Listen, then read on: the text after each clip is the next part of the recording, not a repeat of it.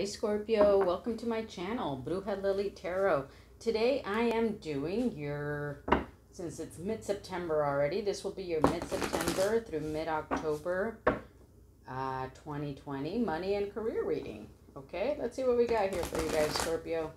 Spirits, angels, guides, please give us clear messages for Scorpio on this money and career from mid-September through mid-October. What does Scorpio need to hear for money and career?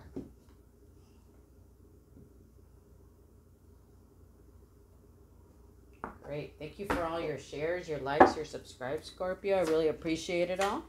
Let's see what we got here. In the first position, um, all right, is well, not in the first position. I'm sorry. The underlying energy um, under the deck here is Confucius and the Moon card. So Confucius is the the Judgment card. So two major arcanas here. So perhaps you're, you know, you're moving into, maybe you're coming out of this moon energy where there's kind of like hidden underlying secrets of some sort, maybe that you've been keeping to yourself or others have been keeping from you. And you're kind of moving into this judgment um, energy where you are kind of more self aware um, or moving into a new phase in your um, development, so to speak. Okay. Um, and keep in mind, this is is meant to be in relation to money and career. Okay, so let's see what we got here. In the first position is what's working for you is the Seven of Cups. Okay, so I guess what's working in terms of your money and career is that you have several options that you are contemplating or several options that um, are at your disposal right now. Okay. Um, perhaps you're in a position where you haven't yet made a decision about something and you're in a state where you're contemplating things. So, with the Seven of Cups being the position of what's working, what's working is that you do have a lot of different options, right? Um, and you do have things to choose from and things at your disposal that you can use and you can choose which way you're going to go with them. Okay? Now let's see here. In what's not working is the devil energy. Okay. So the devil energy in terms of money and career can be related to debt. Okay. It could be related to um, overspending. Okay. Anything that kind of binds you and ties you to something that uh, is making you feel unhealthy or ill in any way. Okay. Um, it, it could also be a person. Um, you know, any kind of codependent situation. That's also a possibility. So the things that are not working for you is anything that um, is tying you to debt or uh, codependency of some sort or just things that are unhealthy for you. Leo also got the same card in the exact same position. So you know, if you have Leo in your chart or you're dealing with a Leo, you may want to take a look at that um, at that reading also. And then what what should you do next is the Wheel of Fortune. Okay, so with the Wheel of Fortune, what I feel is that you're ready to move into a next step here. Okay, which also comes through with the Confucius card, right? Um, a new kind of transformation, a new energy. Um, and um, really kind of moving into that next step here. Let's see here. So you're kind of leaving a cycle behind with the Wheel of Fortune and kind of moving into something new. Perhaps some new luck is coming in for you. Uh, perhaps a new uh, a new phase, a new stri- uh, a new uh, I was gonna say like a strike of new good luck or something. Okay. Um, so perhaps I'm thinking that you need to contemplate these options that are available to you a little bit further. Okay. Perhaps you need to contemplate these things that you have at your disposal and really kind of, you know, how this guy's kind of dreaming about his options. Um, you know, what's funny is that my dad is a Scorpio, and he has this saying that um, when he needs to make a decision about something, he says, "I'm gonna, I'm gonna talk about it with my pillow." Um, here we go. Health. An excellent time to start an exercise program or diet. Many new friendships are on the horizon. Okay. So perhaps for some of you, this devil card is related to some sort of health issue, okay? Um, and maybe that's what's not working for you, something related to your health. And perhaps for some of you, it's a good idea to start a new exercise program or a new diet, okay? Going back to what I was going to say about my dad and uh, when he makes a decision, since he's a Scorpio, and this kind of reminded me of it is that when he said he needs to make a decision, he says, I'm going to talk about it with my pillow tonight. Okay? Which I think is so funny because um, that's what he would say to me growing up. Um, when I would ask him for something, he would say, I'm going to talk about it with my pillow tonight. So I kind of feel like this guy is kind of talking about it with his pillow um, in terms of the options that he has and the decisions that he needs to make. Okay?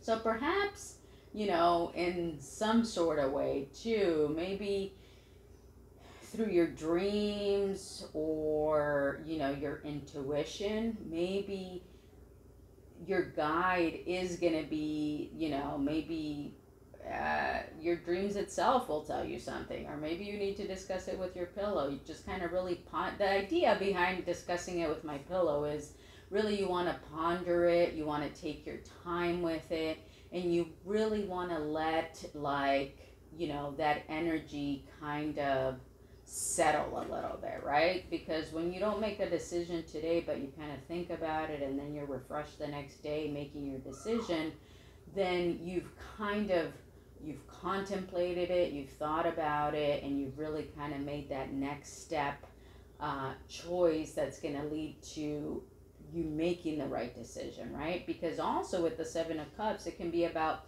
options that are good for you and options that are not good for you. So I'm really feeling like take that time to contemplate which choice you're going to make and really take that time to contemplate, um, you know, which of these options that are available to you is going to be your best choice. Okay? So I think that's good. I think that's that's that's a good thing for you. Drop me a comment and let me know, you know, if this resonates for you. Um, been sitting on these options or if you do have a lot of good options available to you. Okay? Let's see, we're going to pull a card here from the Success Oracles for you. And then I just like to remind you that, you know, these Success Oracles have different people on here. You may or may not like your person that comes out, but just take it as a message, okay? It's just a message that comes through here for you.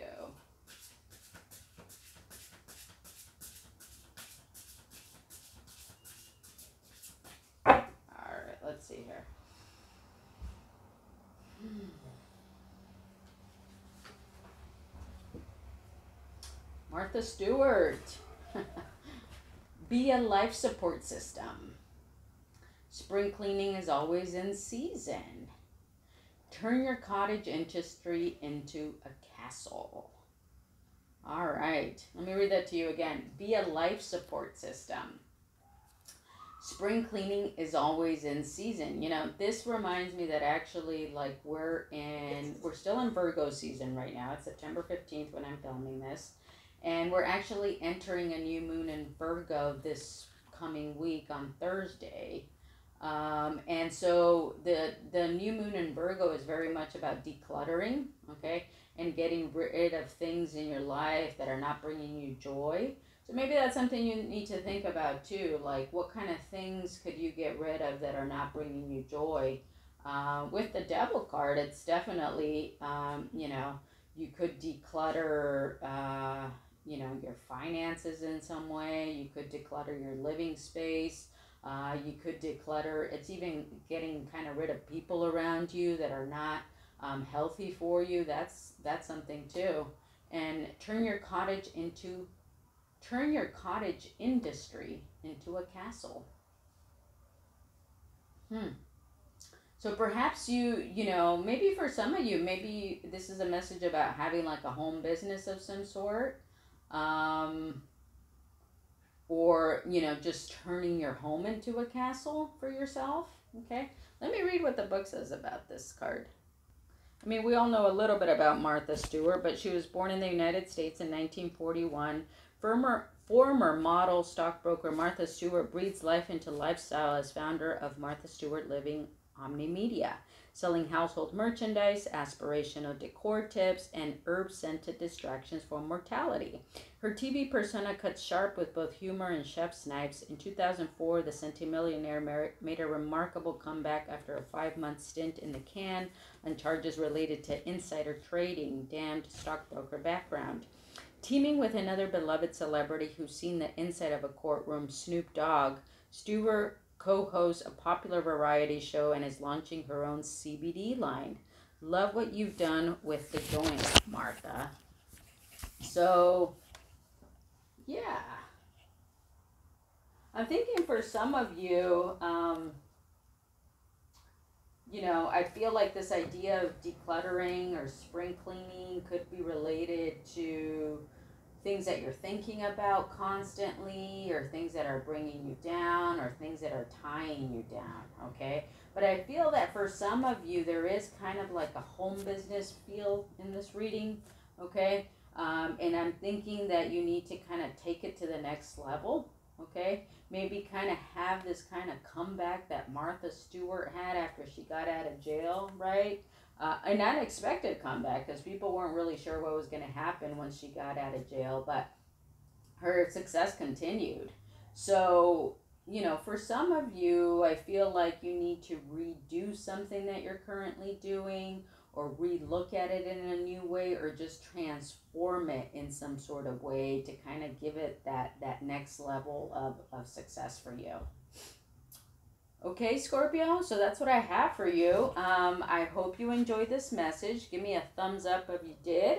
I would have love it if you subscribe to my channel. It really helps my channel grow. I am doing a giveaway for when I reach 3,000 subscribers. So if you want to be part of that giveaway, drop me a comment that says 3K and that will and subscribe to my channel and that will enter you into the giveaway. All right, good luck. I'll see you guys next time. Bye.